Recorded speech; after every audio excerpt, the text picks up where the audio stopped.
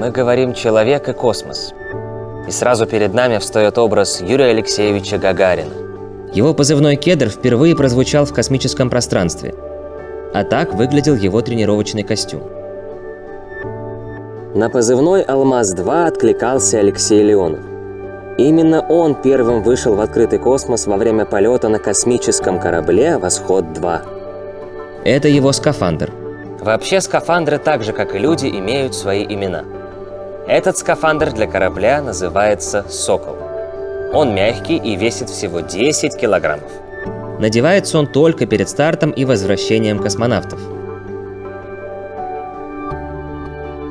Зачем этот чемоданчик? Нет, это не секретные документы, а специальные вентиляторы.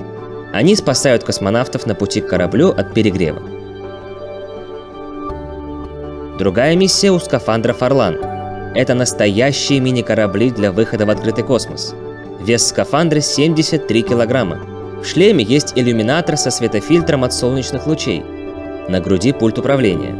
Надписи на кнопках зеркальные, так как читаются с помощью зеркал на рукавах. Представьте, всего несколько миллиметров отделяют космонавта от звездного вакуума. Поэтому для покорения космоса важна не только смелость, но и высокая технологичность.